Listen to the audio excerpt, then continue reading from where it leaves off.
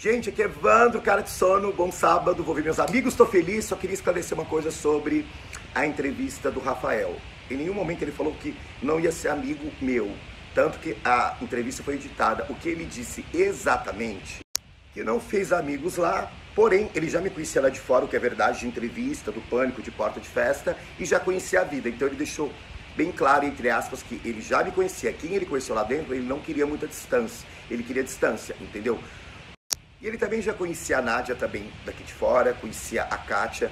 Então, assim, ele estava estressado, cansado, sem dormir, virado, querendo ver a família. Então, vamos dar um tempo o rapaz descansar, assimilar tudo que aconteceu, né? E relaxar todo mundo, né, gente? E eu assisti ontem o primeiro episódio da Fazenda. Demorei cinco horas para assistir, de tanto pausa e detalhes que eu percebia. Gente, como é que vocês me aguentavam? Paciência, obrigado por gostarem de mim. Porque, meu Deus, o que era aquela bicha loira POC no reality? Fala pra mim.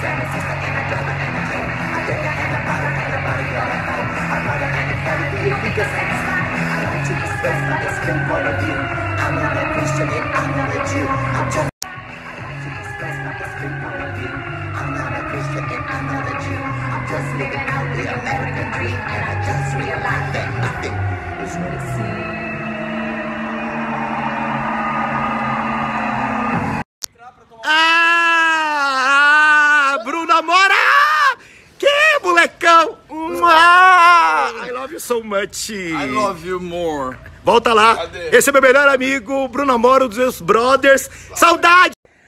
Olá pessoal que me segue aqui no Instagram, Evandro Santo, tem uma novidade bacana pra vocês. Amanhã às 19 horas estarei sorteando aqui no meu Instagram um iPhone 7 em parceria com a MV Kids Importados. Essa é a outra turminha da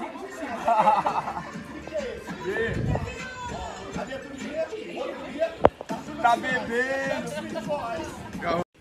Isso é minha madrinha, eu sou seu padrinho. O meu padrinho, gente, eu tava com tantos lá de dele, eu te amo tanto. Olha, sa- Eu até chorei quando vi ele. Ó, depois de Sabrina Sato, depois de Carioca e depois de Nicole Ball, você foi minha melhor dupla. E Diego Becker! Ai,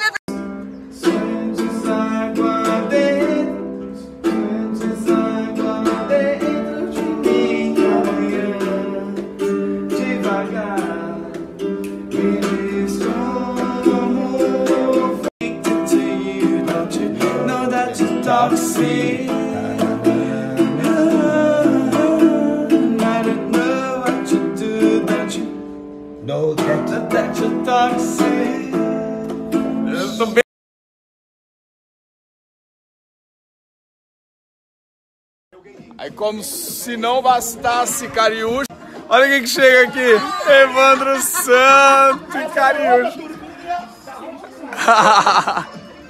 Gui. Tá. O Evandro na fazenda, ele teve uma briga com a galera porque ele roubava o doce de leite de geral. Dá uma olhada. Ô Evandro! Ô Evandro! Evandro! Olha o que eu tenho aqui. Doce de leite pra você. Pra você nunca mais passar fome na sua vida. Ó, tem um doce de leite aqui, ó. Especialmente pra você. Aí aquela fazenda que chupe aquele doce de leite que não te deixaram comer. Eu dou um pra você inteirinho, ó.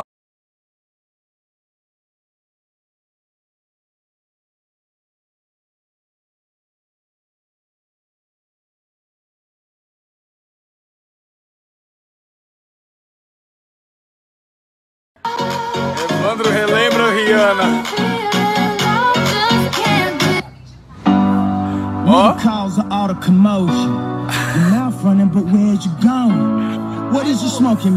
potent. What is you Monique é o quê? A Monique é o Buda, é a paz que chega, que aca- acalma. O resto é a turminha da rua de trás, igual a gente era chamado na fazenda. É a turminha brava. É o povo, gente, que lambe o show da boate até o final. É o povo que se acabar bebida toma Cândida. é o povo que, que põe super bonder na língua pra ver se dá barato. Pronto.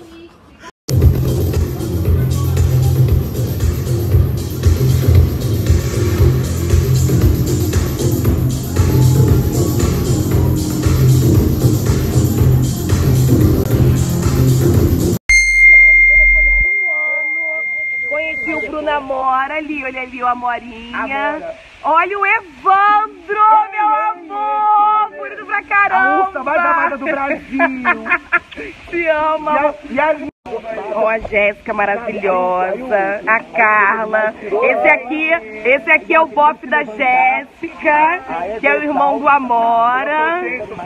É meu bofe, meu namorado.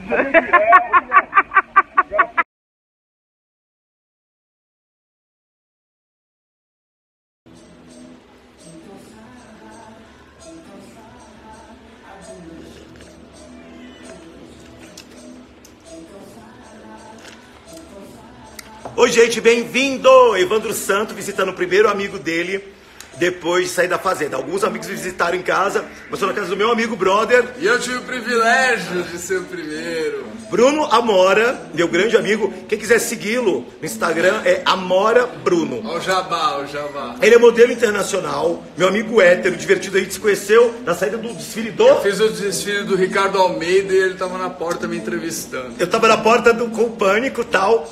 Aí eles estavam lá fora, eu comecei a zoar eles. Cara, o santo bateu na hora. A gente ficou muito brother. Falou assim: ó, vai ter um churrasco na minha casa domingo. Você topa aí? Falei, ah, faz tempo que eu quero conhecer gente nova, amigo, beleza. Vamos, vamos lá no churrasco. Ele tinha uma amiga que eu já tinha zoado no baile da Vogue, que é a Vanessa. Vanessa, Ela falou assim: eu não, não não vai. acredito que você vai trazer esse Christian Pior aqui. Senta aqui, Bruninho. Não acredito que você vai trazer esse Christian Pior, essa bicha nojenta. Me xoxou no baile da Vogue. Eu não quero esse cara estrela aqui, não. Falou um monte. Mas ele é mais legal do que parece. Ele Pois é. Legal. Aí eu olhei, eu cheguei assim, olhei pra Vanessa, a Vanessa é uma ruivona, ela cuida da Angel Laís Ribeiro. Ela é booker da Joy. Eu olhei pra Vanessa, a Vanessa olhou. Em três minutos a gente, pá, o santo bateu.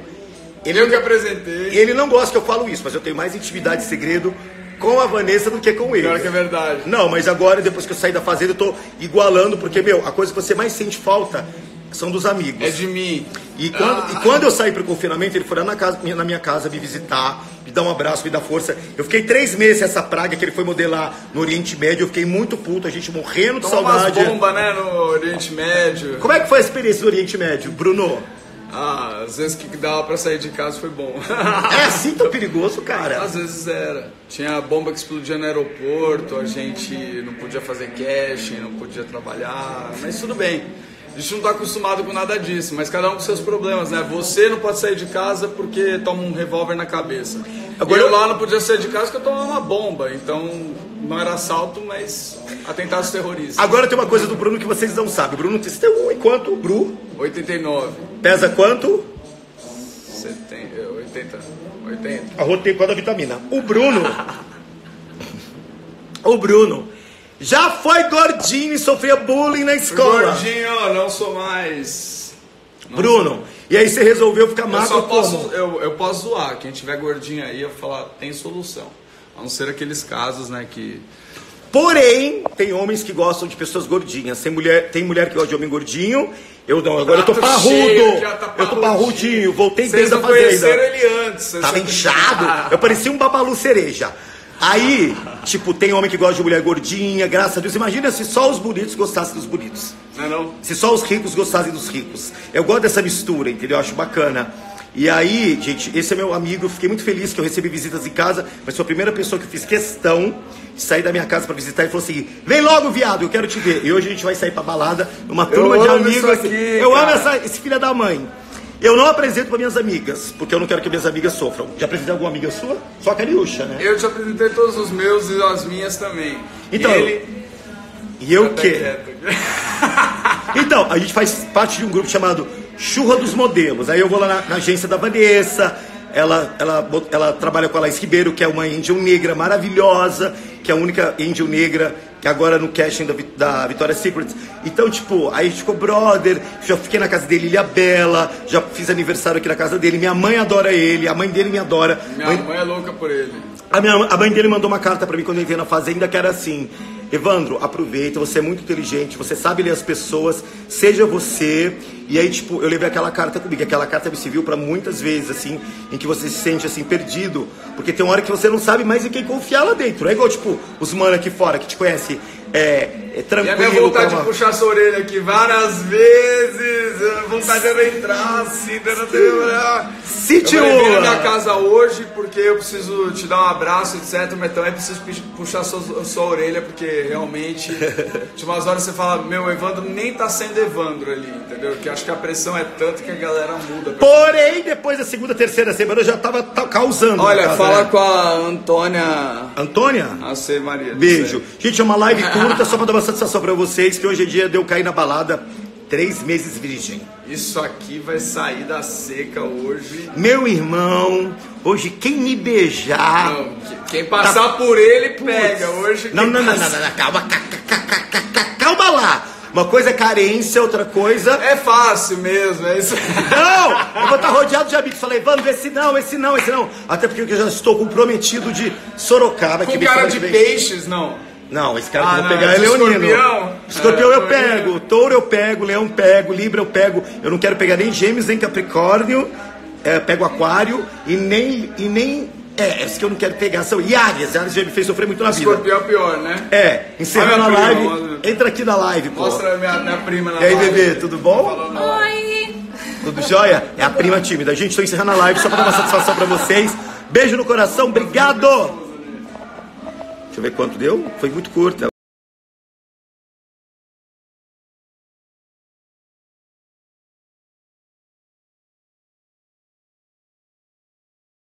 Amores, eu sou a Cariúcha, mais conhecida como a Garota da Laje e ex-repórter do programa Pânico. Hoje eu vim falar um pouquinho mais sério, que vocês me vê zoando, fazendo aqueles vídeos de louca, mas hoje eu vim falar de um amigo meu, que é o Evandro Christian Pior, que ele está sendo acusado de racismo. Olha que absurdo. Eu, como amiga dele, eu jamais aceitaria, aceitaria uma pessoa racista do meu lado ou algo assim. Não conseguiria ficar com uma pessoa racista nem cinco minutos. Eu vim falar um pouquinho aqui que eu tô vendo umas acusações que estão fazendo dele. Gente, é, é, eu tive que vir manifestar minha indignação, que eu fico revoltada, eu fico indignada com essas coisas, tá? Eu tô tentando manter a calma, mas já, tão, já, tá, já tá já me saturando essas palhaçadas acusando meu amigo de, de, de racismo. Chega, parou. Uma coisa que ele não é é racista, até porque eu, eu não, não ficaria cinco minutos com uma pessoa assim. Então eu vou contar uma coisa pra vocês que vocês não sabem.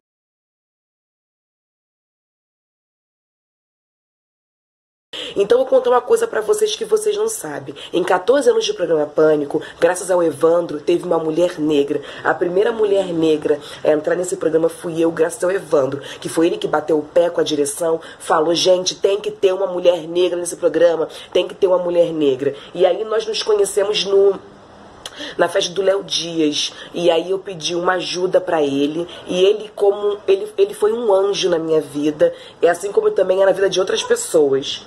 E aí ele pegou e me, me botou, bateu o pé, falou: tem que ter uma negra, bota ela, bota cariúcha. E bateu o pé, insistiu. E graças a Deus eu entrei no pânico, graças a ele. Então, gente, uma coisa que meu amigo não é, é racista, tá? Então, vamos parar com essas acusações, já que tá chato. Até porque, gente, eu nunca, eu nunca teria amizade com uma pessoa que seria preconceituosa, gente. Pelo amor de Deus, tá?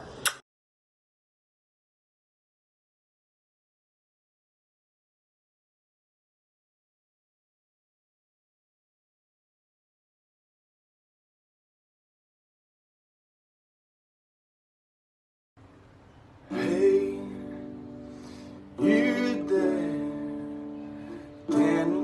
take it to the next level, baby? Do you dare? Don't be scared, cause if you can't say the words, I don't know what I should care. Cause here I am, I'm giving all I can, but all you ever do is mess it up. Yeah, I'm I'm trying to make it clear that getting half of you just ain't enough. I'm not gonna wait.